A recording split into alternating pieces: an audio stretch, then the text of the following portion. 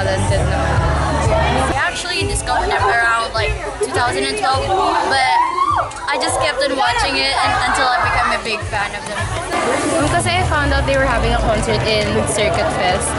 So, sobrang umiyak ako sa parents ko kasi I didn't think na makakapunta ako.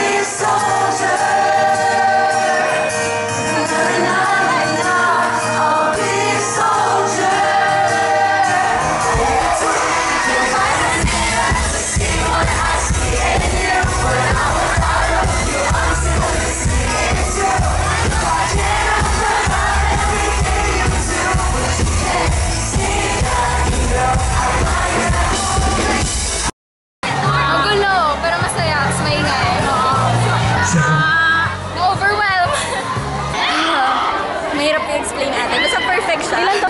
Parang hindi reality. Parang nanaginip ko. Parang nanaginip.